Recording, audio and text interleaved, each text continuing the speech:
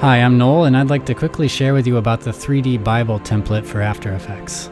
Anyone with After Effects CS5 and up can use it to create their own Bible animation. And it's perfect for sermons or if you have a specific verse that you want to reveal in a creative way. You have total control over the Bible, so you can animate the cover and the individual pages to turn or open whenever you want, and each page has its own separate comp, so you can put whatever video or text or images that you want on each page. And by default, each page has filler text, which is just small print random scripture, but you can edit that and format it however you want. And there are multiple layouts or formats to choose from, as well as a library of almost 200 images. These images include cover and paper textures, which will be useful to everyone, but there's also a bunch of vintage design elements and Christian artwork from the public domain in case you'd like to make your Bible more colorful or aesthetic like the really old Bibles. And there's a couple different 3D scenes which you can choose to place your book in.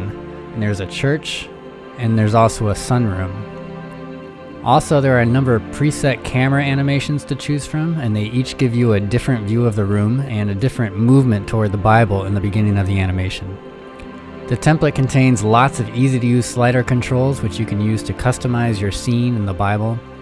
So you can adjust the lighting and the bend of the pages. You can move, scale, and rotate the book. You can change the dimensions. You can make it hardcover or paperback, change the page spacing, and a lot more.